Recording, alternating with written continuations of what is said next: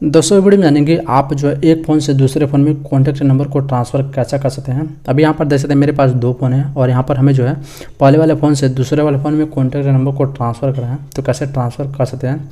यहाँ पर मैं आपको जो है दूसरे वाले फ़ोन में दिखा देता हूँ। यहाँ पर देख सकते हैं, यहाँ पर आपको जो है एक अभी कॉन्टैक्ट नंबर आपको देखने को नहीं मिला होगा, ठीक है? और अभी मैं यहाँ पर आपको जो है कॉन्टैक्ट नंबर भेज कर दिखाऊँगा, ठीक है?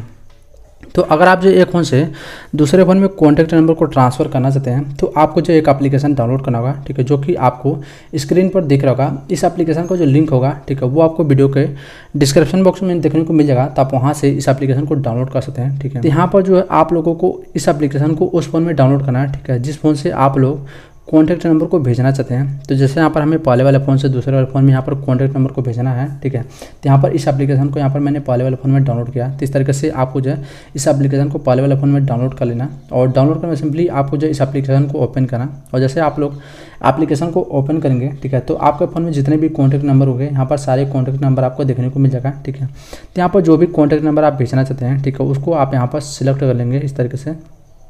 जैसे यहाँ पर अगर आप जो सभी कॉन्टैक्ट नंबर को एक साथ भेजना चाहते हैं, ठीक है तो आप जो सभी कॉन्टैक्ट नंबर को यहाँ पर सिलेक्ट कर सकते हैं, और अगर आपको जो सभी कॉन्टैक्ट नंबर को नहीं भेजना, अगर आप जो कुछ कॉन्टैक्ट नंबर को भेजना चाहते हैं, ठीक है तो जितने आपको कॉन्टैक्ट नंबर भेजना है, उतने कॉन्टैक्ट नंबर को आप लोग यहाँ पर सिलेक्ट कर सकते हैं, ठीक है। तो जैसे हमें सभी कॉन्टैक्ट नंबर को भेजना है, ठीक है तो यहाँ पर देखेंगे तो यहाँ पर ऊपर आपको दो आइकन देखने मिलेगा तो यहाँ पर जो फ़र्स्ट वाला आइकन आपको दिख रहा है, आपको फ़र्स्ट वाला आइकन पर क्लिक करना और यहाँ पर आपको जो तीन ऑप्शन देखने को मिलेगा यहाँ पर जो फ़र्स्ट ऑप्शन आपको देखने को मिलेगा सिलेक्ट आल का। सिंपली आप लोगों को सिलेक्ट आल पर क्लिक करना और यहाँ पर देखेंगे तो यहाँ पर जो सभी कॉन्टैक्ट नंबर होगा, वो यहाँ पर सिलेक्ट हो जाएगा, ठीक है? और यहाँ पर आपको जो है, नीचे आपको शेयर का आइकन देखने को मिलेगा। सिंपली आपको शेयर का आइकन पर क्लिक करना और यहाँ पर आपको जो है, तीन ऑप्शन आपको देखने को मिलेगा। यहाँ पर जो फ़र्स्ट वाला ऑप्शन आपको दिखेगा, आपको फ़र्स्ट वाला ऑप्शन पर क्लिक करना। और यहाँ पर देखेंगे तो यहाँ पर आपको जो है कई सारे ऑप्शन आपको देखने को मिल जाएगा तो यहाँ पर आपको सिलेक्ट करना है कि आप जो कॉन्टैक्ट नंबर को किसके थ्रू आप भेजना चाहते हैं ठीक है तो यहाँ पर आप लोगों को यहाँ पर व्हाट्सअप वगैरह सिलेक्ट नहीं करना है यहाँ पर आप लोगों को ब्लूटूथ को सिलेक्ट करना है ठीक है यहाँ पर देखेंगे तो यहाँ पर आपको ब्लूटूथ का ऑप्शन देखने को मिलेगा तो सिंपली आप लोगों को ब्लूटूथ के ऊपर क्लिक करना अगर आप लोगों को यहाँ पर ब्लूटूथ शो नहीं होता तो यहाँ पर इस तरीके से आप लोग सिलेक्ट करेंगे तो यहाँ पर आपको जो है ब्लूटूथ देखने को मिल जाएगा, ठीक है? तो आपको सिंपली ब्लूटूथ के ऊपर क्लिक करना और यहाँ पर देख सकते हैं, जो आपके फ़ोन में ब्लूटूथ होगा, वो यहाँ पर ऑन हो जाएगा, ठीक है? अब यहाँ पर आप लोगों को, दूसरे वाले फ़ोन में आप लोगों को ब्लूटूथ ऑन कर लेना, ठीक है? इस तरीके से। अब यहाँ पर देखेंगे तो यहाँ पर जो दूसरा वाला फ़ोन का जो नाम होगा, वो आपको यहाँ पर देखने को जाएगा। तो सिंपली आपको जो है, इसी के ऊपर आपको क्लिक करना है, ठीक है? अगर आपको यहाँ पर जो दूसरा वाला फ़ोन का आपको नाम देखने को नहीं मिलता, यहाँ पर आपको जो है रिफ्रेश का बटन देखने लगा सिंपली आप लोगों को।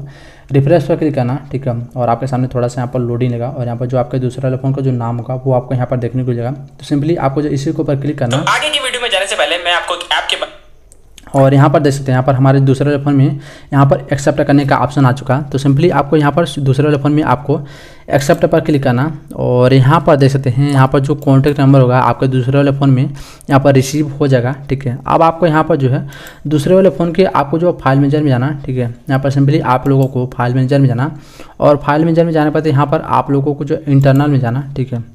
और इंटरनल में जाने बाद यहाँ पर आपको जो एक फ़ाइल देखने को मिलेगा डाउनलोड कराने से तो सिंपली आपको डाउनलोड फ़ाइल ओपन करना और यहाँ पर देखेंगे तो यहाँ पर जो कॉन्टैक्ट नंबर होगा वो आपको यहाँ पर देखने को मिलेगा अगर आपको यहाँ पर कॉन्टैक्ट नंबर देखने को नहीं मिलता तो यहाँ पर थोड़ा आप लोग नीचे जाएँगे तो यहाँ पर आपको जो है थोड़ा नीचे आपको जो है कॉन्टैक्ट नंबर देखने को मिलेगा तो आप लोग यहाँ पर कॉन्टैक्ट नंबर को ढूंढ लीजिएगा अगर आपको यहाँ पर कॉन्टैक्ट नंबर देखने को नहीं मिलता ठीक है तो आप लोगों को यहाँ पर क्या करना है यहाँ पर आप लोगों को बैक आ जाना और यहाँ पर देखेंगे तो यहाँ पर आपको जो है सर्च बार आपको देखने को मिलेगा। सिंपली आप लोगों को सर्च बार पर क्लिक करना और यहाँ पर आपको जो है कॉन्टैक्ट टाइप करके सर्च करना।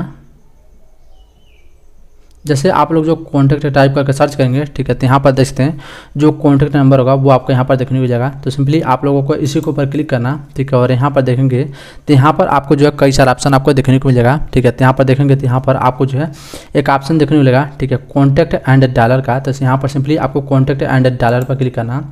और यहाँ पर देख सकते हैं, यहाँ पर ये पूछ रहा है कि आप जो कॉन्टैक्ट नंबर को कहाँ पर सेव करना चाहते हैं, ठीक है? तो यहाँ पर देख सकते हैं आपके फ़ोन में जितने भी जी मेल आई डी होंगे वो सारे जी मेल आपको यहाँ पर देखने को मिलेगा, ठीक है?